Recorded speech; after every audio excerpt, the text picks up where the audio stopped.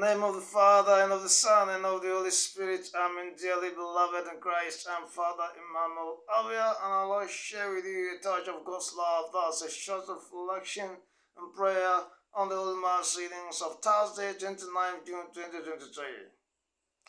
The readings are taken from Acts 12 1 to 11, Psalm 33 2 to 9, 2 Timothy 4, 4 6 to 8, 17 to 18, and Matthew 16 13 to 19. The theme of the reflection is how to be undefeatable. How to be undefeatable. Today we celebrate the solemnity of Saints Peter and Paul, and their lives teach us how to be undefeatable in life. In the Gospel, Jesus asked the apostles, Who do people say the Son of Man is? And they said, Some say he is John the Baptist, some Elijah, others Jeremiah, and or one of the prophets. But you, he said, who do you say I am? Then Simon Peter spoke up. You are the Christ, he said, the Son of the living God. Jesus replied, Simon, son of Jonah, you are a happy man, because it was not flesh and blood that revealed this to you, but my Father in heaven. So I now say to you, you are Peter, and on this rock I'll build my church, and the gates of the underworld can never overcome it. I'll give you the keys of the kingdom of heaven. Whatever you bind on earth shall be considered bound in heaven. Whatever you loose on earth shall be considered loosed in heaven.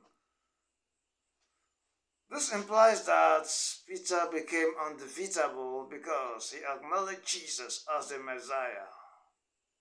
A further reading of the text shows that he needed to acknowledge this not only by lips but by deeds. For when he tried to stop Jesus from carrying his cross, Jesus announced him by saying, Satan, get behind me. In another place, he tried to stand against the will of Jesus by not allowing him to wash his feet, Jesus said, If I do not if you do not allow me to wash you, you have nothing to do with me.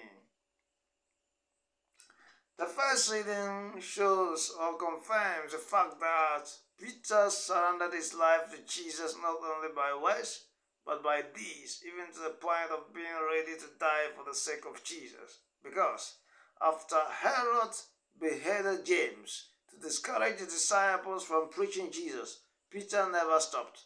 So he too was arrested to be tried and killed. But an angel came and rescued him since his time was not yet up to die.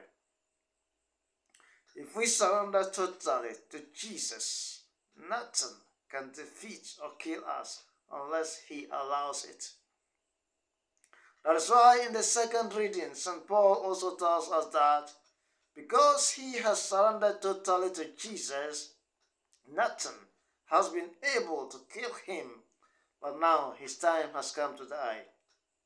He says, My life is being poured away as a libation, and the time has come for me to be gone. I've fought the good fight to the end. I've run the race to the finish. I've kept the faith. All that is to come now is the crown of righteousness reserved for me, which the Lord, the righteous judge, will give to me on that day and not only to me, but to all those who have longed for his coming, including you who are listening to me now. If we follow the example of Peter and Paul, we too can be undefeatable. Dearly beloved, in the name of Jesus, receive the grace to surrender completely to God. In the name of Jesus, you will be undefeatable and you will win the crown of glory. Amen.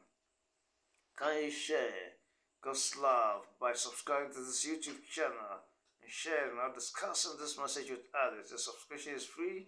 The icon for subscription is at the bottom corner of the right side of the video. May Almighty God bless and protect you, always, the Father, and the Son, and the Holy Spirit. Amen.